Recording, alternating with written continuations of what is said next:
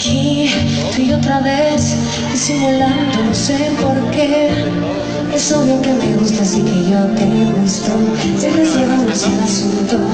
Yo sé que tú tienes comida en casa, pero si te dan por fuera, ¿qué pasa?